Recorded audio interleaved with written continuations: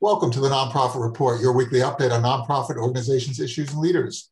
I'm your host, Mark Oppenheim, and today we'll talk about the foster care system with special guests Becky Davenport, Executive Director of Bloom Our Youth in Fayetteville, Georgia, Melanie Scheetz, Executive Director of the Foster and Adoptive Care Coalition in St. Louis, Missouri, and Don Wells, Missouri uh, native and Chief Empowerment Officer of Just in Time for Foster Youth in San Diego, California thank you so much for, for joining us today. It's just wonderful to, to uh, see you all. And National Foster Care Month begins in just four days.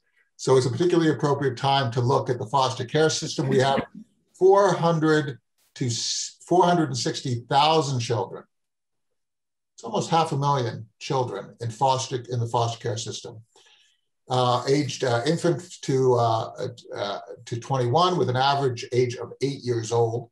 So let's talk about what's worked and what's not. And, and Becky, let's start with you. Um, what can we do going forward?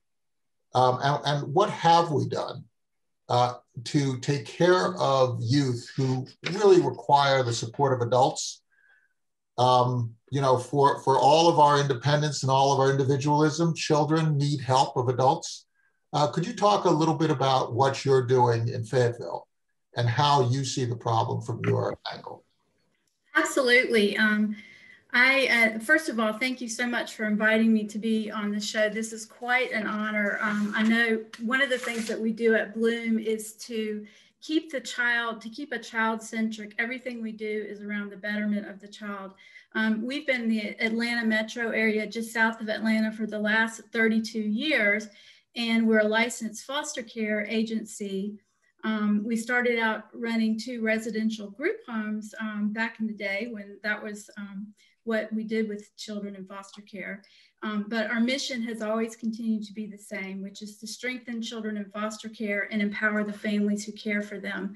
Um, we have three programs to that effect. We have our foster parenting pro program where we go out and we recruit, train, and support families to take in therapeutic children, medically fragile foster children, and um, foster parenting teen girls who um, are in need of support and, and a place to live. So we also have a program called the Bloom Closet, which is a free clothing resource for every foster child in the state of Georgia. And that program has been so key to involving the community who can't be foster parents in, in a very tangible way through the donation of gently used clothing, diapers, baby gear, not gently used diapers, but we, we have a whole realm of things that we give away for free to foster children. And it's in the setting of this very fun and uh, brightly decorated store.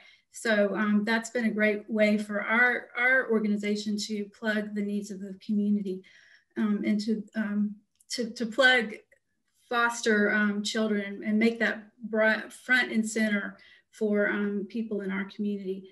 But I think one of the key things is that is to keep um, if I'm a child in foster care and we're keeping that child's uh, best interest um, front and center, the uh, placement of first choice for me as a foster child would be with a relative. If no one is identified in the family unit to take that child, the next best place is someone familiar to that child, say a neighbor or a teacher. And that's what we call fictive kinship in Georgia. And then um, and then of course on in the third line, it's the, the foster home. Um, it's, it's a non-relative placement, but the key to a successful outcome for placing a child into foster home is matching.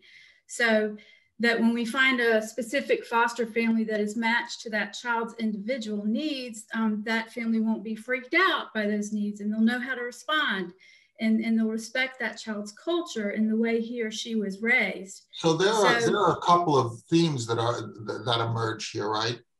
It starts off with the child. Absolutely. Right? starts off with the child. There's a theme that you mentioned of respect, right? Of basically respecting the the the, the foster parents, the the young people, right? Yes. Of, of trying to equal the playing field of creating environments that are welcoming, right?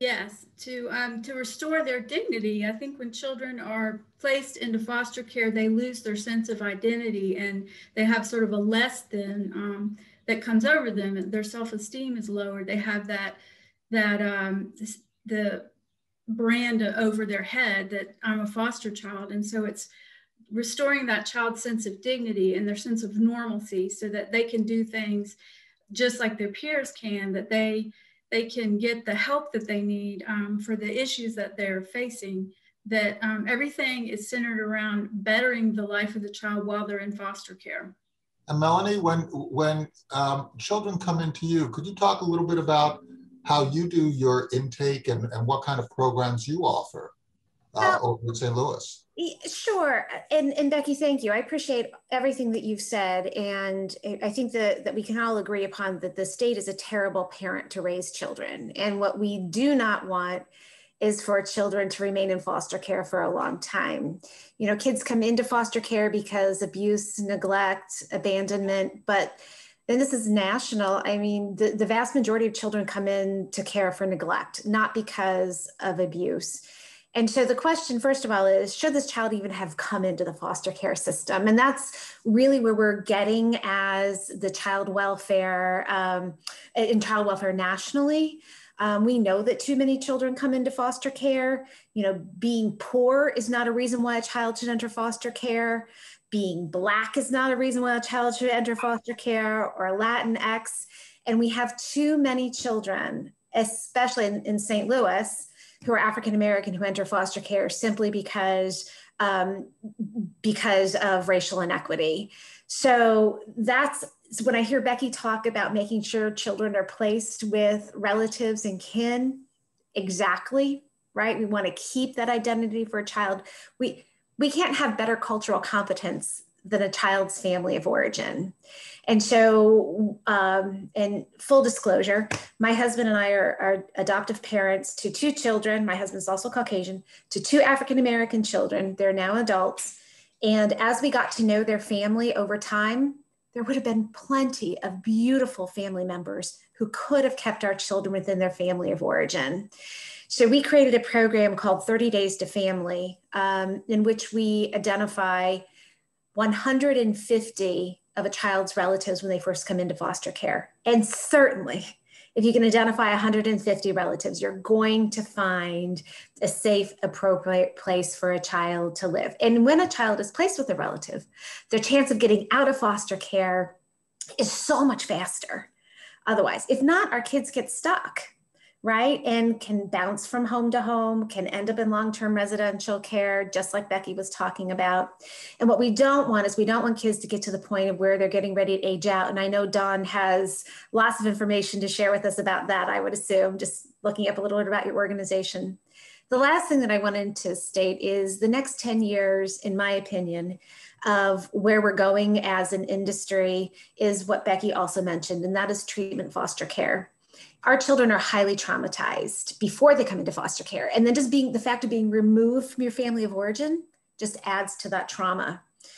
And so our children need and deserve highly trained and supportive foster homes. I mean, some can be at a traditional level, right? But some need that that uh, higher level of support. And so Becky mentioned treatment foster care. Sometimes it's known as therapeutic foster care, um, and especially with some new federal laws that have come out making sure that our children are not being placed indefinitely into residential care, but instead can be placed in the community with that support. So that's kind of a, a, a lens of where we're going. So you're you're unpacking so much. We're going to come back to some of those points. Don. uh, I'd like to give you a bite at the apple as well because your organization really does take a particular cut at this at this uh, at this issue. Could you just describe uh, how you see um, what Melanie and Becky were describing in your part of America.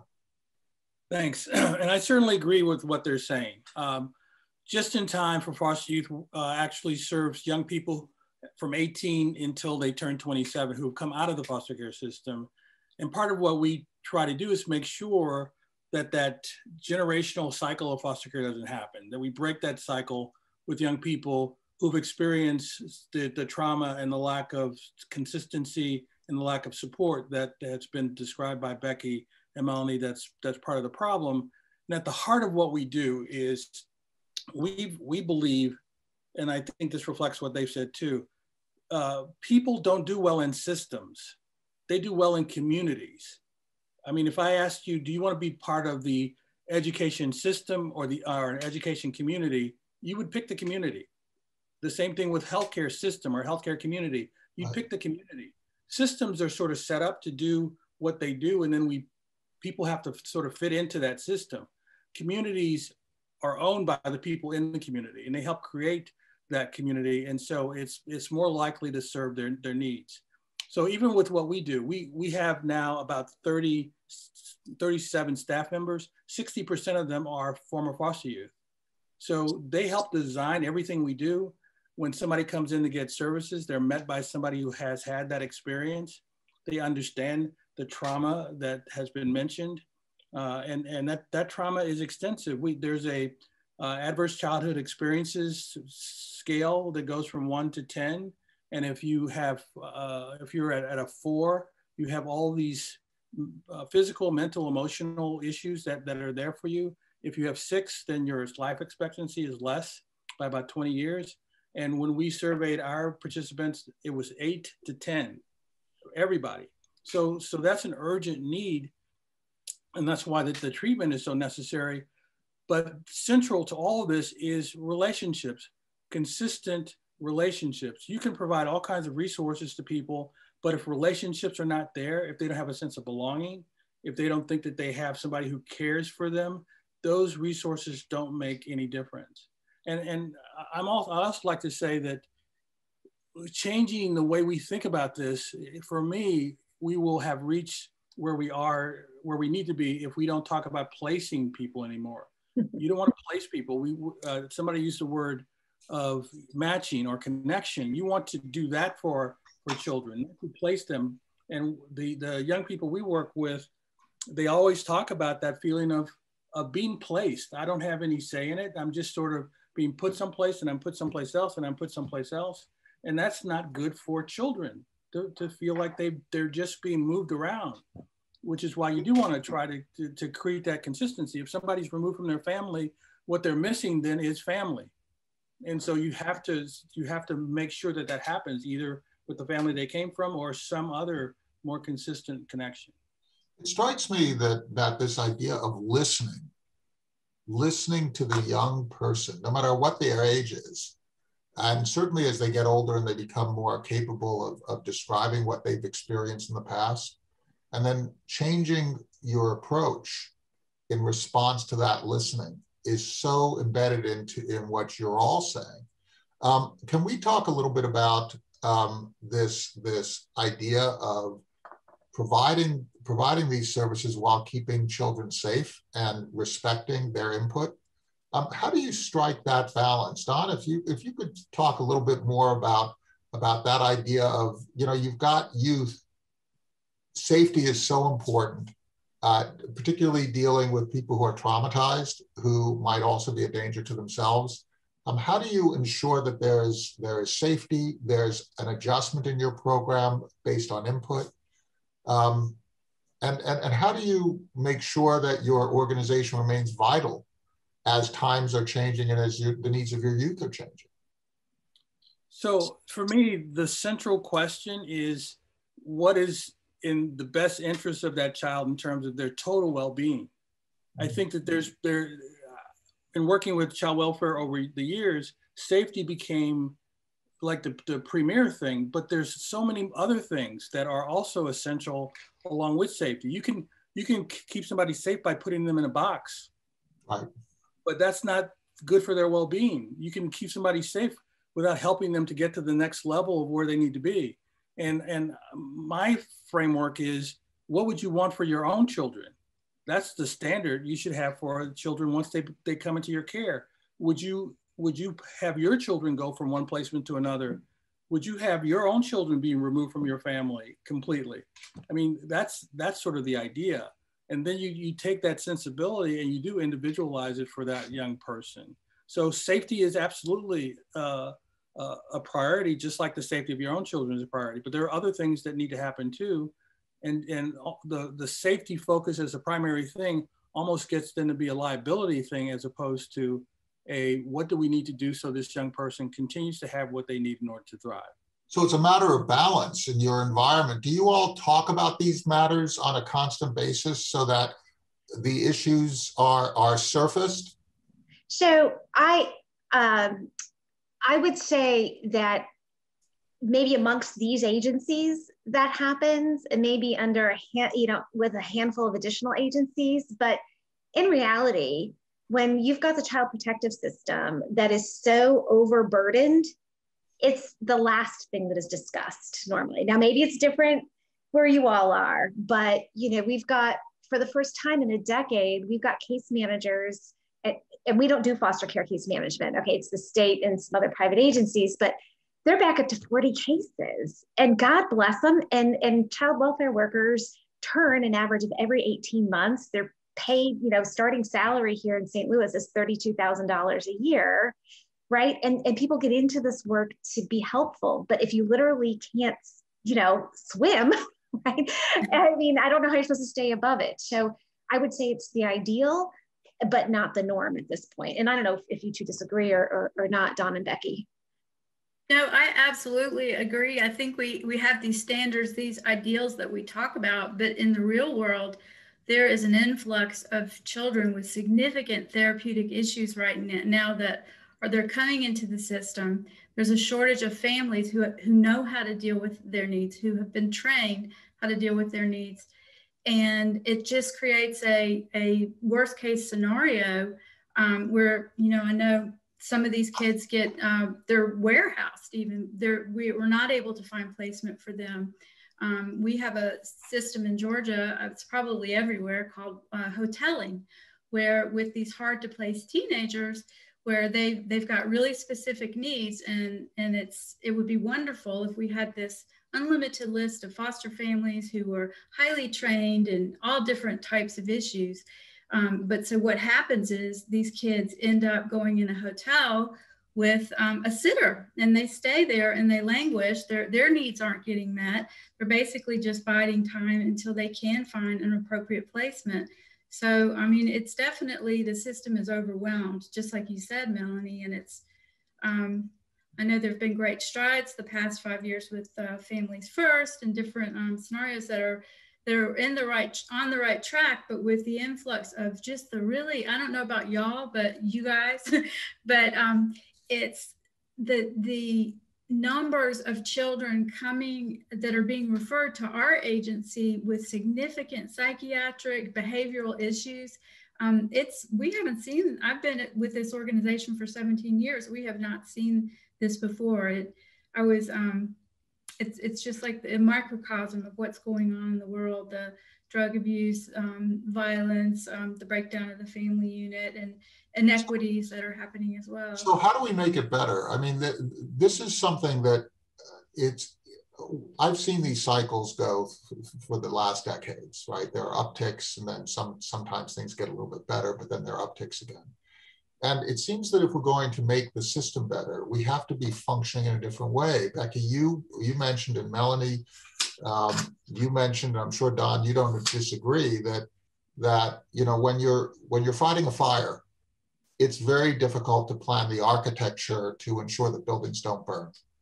Right at that point, there's a fire going on, and so we have an overwhelmed system is there a solution to this? Because we have a whole bunch of nonprofits struggling all across the country. And I can go to any town in America and I can hear the exact same stories. So this is throughout the country. This is not a urban or rural issue or a red state or blue state issue or a coastal versus inland issue. This is everywhere. How do we fix this? Because this is this is our future, right, Don? I mean, so I can mainly I can mainly speak for how we are working with young people, again, 18 until 27. And that is, I'm going to go to your analogy of fighting a fire.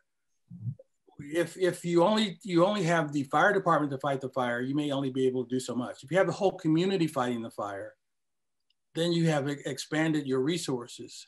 So we serve about 800 and almost 900 youth every year, individual youth between 18 and 27. We also have about 800 volunteers who are part of our community of support.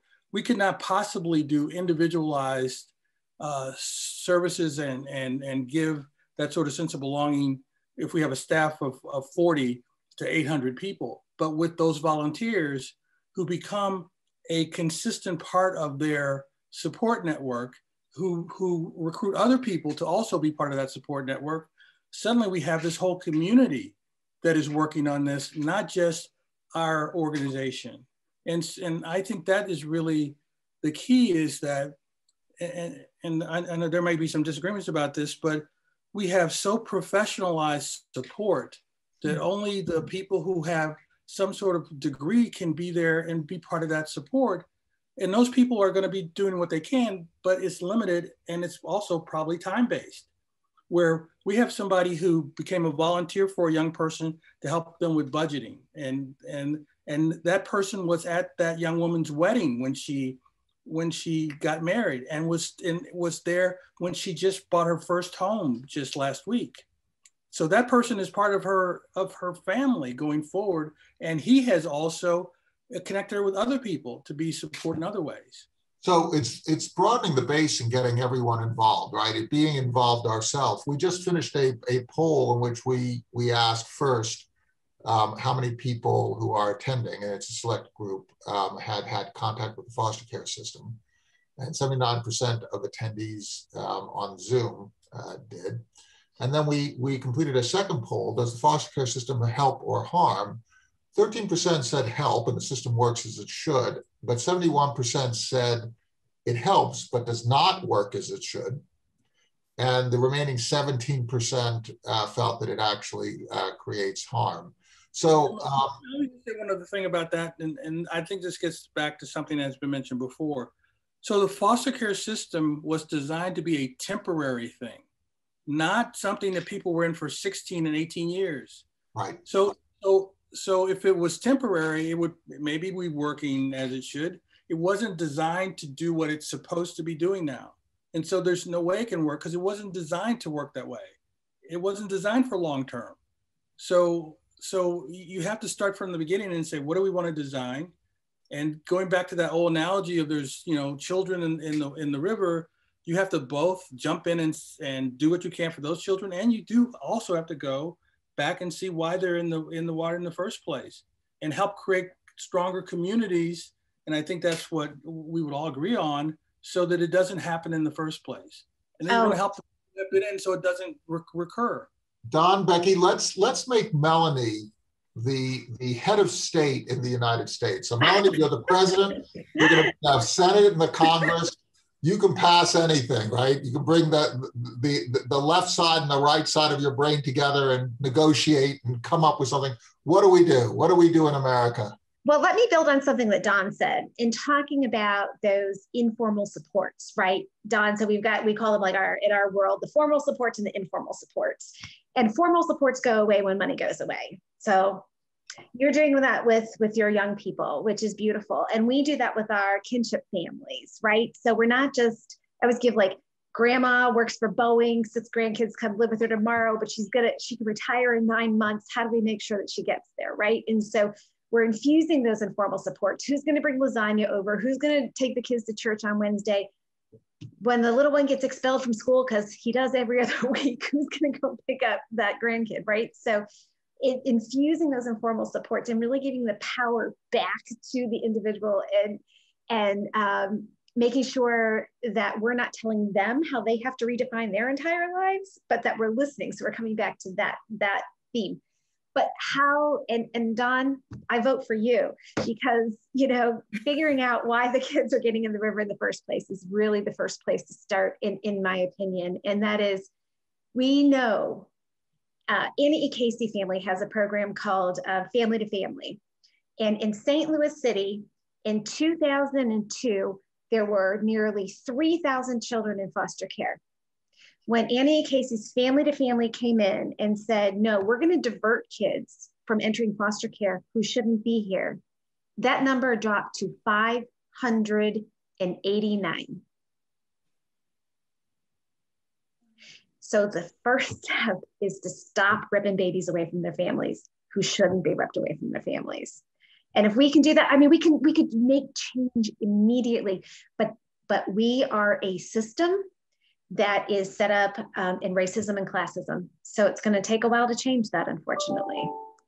So, so we have three different ideas so far. One is the the recourse to community, right? Volunteerism, creating this this group. It's not a government uh, idea. It's really a community idea. How do we take care of people in our community? The second idea is the whole idea of of let's do the upfront work to prevent um, people entering into foster care and also keeping those those um, that experience as short as possible. And the third piece is is really one of of trying to deploy resources in a way that has the greatest impact on in a child center um, uh, sense. So meeting the child where their needs are, providing wraparound support and counseling and, and those kinds of things that you raised, Becky. Um, Becky, uh, if you were going to take over for Melanie, Melanie now has has passed the torch, and you're going to be um, the person who makes the decisions for this country. Were, would there be other uh, changes that you would make to the system?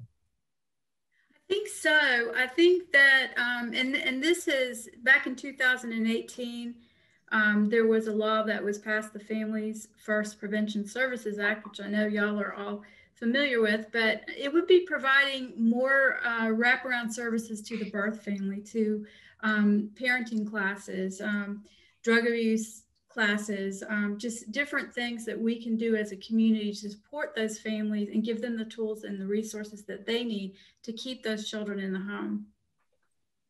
So you, your whole idea is is that uh, you're actually providing a whole range of counseling to the various players here in order to ameliorate this this dislocation. Yes, counseling would be one of the services I would offer. There would be um, a whole spectrum of services. Actually, I think also we could do more to um, promote equity with families that don't ha- that have housing issues that don't have food, clothing, provide make that a priority, as well as helping with um, just counseling, parenting classes, and then also there's a, a, large majority of children who come into foster care come in because they're because of drug abuse, parental drug abuse. So um, more resources towards that effort, I think, would be a huge help to keeping kids out of the system in the first place. Um, we're going to uh, continue with Melanie and Don. We're going to give you the, the last word since we're uh, running out of time. I'd like to chat um, a, a, little bit more about the whole idea of uh, the foster care system being a symptom of inequity, uh, which you raised, uh, Melanie. Um, to what extent are is is the effect on children a downstream effect of poverty and trauma within community and so on? Because it seems to me that if if if you go with the thesis that uh, that children being thrown into foster care um, is a downstream effect, then to stop that, you actually have to deal with some upstream causes. Was that what you were uh, indicating, Melanie, or did I misunderstand? Oh, um, yes. In a nutshell, yes. Of course, there's a ton to unpack there, but yes. So, so if children are sort of the the the, the people who suffer from those upstream causes, what do you think the, the upstream actions that we could take that would reduce the amount of, of, of neglect and, and uh, other uh, impacts that cause kids to end up in foster care? What do you think those, those big actions that could be taken in a place like St. Louis, Missouri? So um, the, you, the number one thing is um, making sure that children are not brought into foster care just because uh, a family is poor. And that happens all the time. So it's really a matter of attacking poverty in that, know, in, that case? That, that, if you've got a 24 year old Caucasian woman right out of school, well meaning, and she's doing an investigation and it's in an area of St. Louis that maybe where there's poverty and there's violence and it's largely African American, I don't really think that that family is going to get necessarily a, a good look. I think there'll be a lot of assumptions, a lot of implicit bias. One of the things that's been tried in New York, and I'd love to see it, is called blind entry. And that is where you have um, the, the situation of a, a, child potentially coming into care, but all identifying information is, is, is redacted. And it's amazing that the, the turnaround that they've been able to make in New York. So that would just be an example of making sure that we've got bias removed from the system. So you're talking about the fact that the system itself needs to take into account the lived experience of the people who are providing the services. Yes, and I mean, there's just like so many things. You know, we could we could talk about this for days, but just the fact that we're finally talking about how our system is um, is not fair is a start because we weren't even talking about that until really the murder of Mr. Floyd. So cultural competency uh, is, is, is really needs to be embedded as if it is as strong a competency as finance competencies or casework competencies. There are cultural competencies that, if they are not embedded into these organizations, can result in really poor impacts for children. I guess I guess that's your point, right? And do. And in other states, it's you know Native American children who are overrepresented in the population, or Latinx children who are overrepresented. So um, definitely, all of our minority communities um, pay the price for our system that is not set up in an equitable manner. And Don, if you were going to make one ask of America, of all of us, what would that ask be? Well, again, I, I, I, the way things are set up right now is you have the system over here, and then you have the community over there, and the system is acting on the community. It's not that there's a community and the system is serving within that community to meet its needs. So I, I think it really goes back to the community approach. And I also just wanted to say that I described those adverse childhood experiences that the children are having. Their parents had those same adverse childhood experiences probably. And it, it makes no sense to, to say that we're willing to support these children for 18 years outside their family, but we don't give the same resources to the family that we would give for 18 years so that that family can have what they need and then you stop the whole thing from happening in the first place. We are reluctant to give services to, to families who need them because for some reason you know that, that's socialism or whatever people say. But but on the back end we create this whole uh, progression of of negative impacts that cost so much more if you're just worried about costs. It costs so much more than if you had just gone in the front end. And we like to talk about it just in time, what it costs for somebody to be in prison once they don't get the support they need and they go into the criminal justice system for years versus giving somebody a hundredth of that same cost on the front end so that it doesn't happen in the first place. So I, I, I would ask America to look at this from a standpoint of community writ large and small and how can we act as a community to solve our problems? If we if we acted more on the front end, we would reduce all kinds of social problems that we have uh, by by treating families with compassion and helping to be supportive of them so they can they can be environments where people can thrive. I think the two things that I've that I've taken from the um, from the input that you've all provided to us is that this whole idea that there's a front end issue that is causing this, this manifestation, that children are the victims of our inability to deal with that front end issue. Um, I think that that is such a powerful, powerful point. And it was expressed by you, Becky, by you, Melanie, by you, Don, in so many different ways. Um, I think it's something that we, we all should really uh, give some thought to. And the other, the other piece is this whole idea of cultural competence. And cultural competence really uh, comes down, it's not a matter of, of any one thing, race, religion, poverty, um, but it is a, the idea of, of being centered in the child's experience, right? and, and trying to understand how do you create, to the extent that we all can do that, how do we create, create a parental caring, the kind of caring that we have in our nuclear families, but for children who, who need that. And thinking about relatives, your point, Becky, in terms of trying to uh, pair people with, with their relatives, and your point, Melanie, and yours, Don, the whole idea of, of trying to really respond to children as if as if they were our own as a society. It's, it's just so important. Thank you so much for uh, helping us to understand just a little bit more about uh, your services around the country. Becky Davenport, Executive Director of Bloom Our Youth in Fayetteville, Georgia. Melanie Scheetz, uh, Executive Director of the Foster and Adoptive Care Coalition in St. Louis, Missouri, and Don Wells, Chief Empowerment Officer of Just in Time for Youth in San Diego. You've really given us a great view of, of the nation. Uh, thank you all attendees for coming in and for sharing your questions and uh, for your response to the polls. And on Thursday, we'll be talking about uh, food insecurity and food waste in the United States. So please, uh, please come again.